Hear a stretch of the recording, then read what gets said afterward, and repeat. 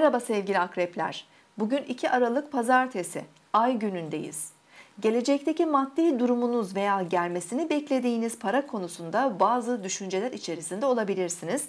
İhtiyacınız varsa aile çevresinden veya yakın arkadaşlarınızdan bir maddi yardım gelmesi de söz konusu olabilir.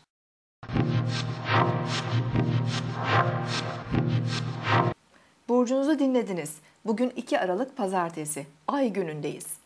Sabah 8.31'de Ay Yay burcuna geçiş yapacak.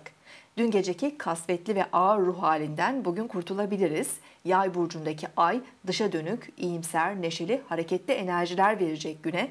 Sabah ve öğle saatlerinde Ay Neptün karesi biraz hayalperest bir yapı verebilir ve gerçeklerden uzaklaşabiliriz. Kararsızlık, değişkenlik, dalgınlık, günlük işlerde bazı karışıklıklar oluşabilir. Bugün e, çalışmak yerine açık havada zaman geçirmek, gezmek, sosyal ilişkiler kurmak bize daha cazip gelebilir.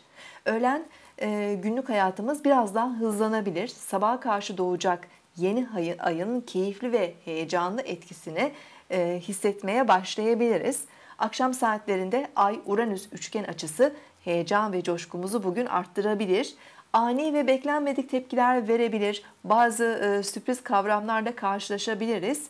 E, bu enerjiler daha çok değişik e, ateş grubu burçları, e, koç, aslan ve yay burçlarını daha fazla etkileyecektir.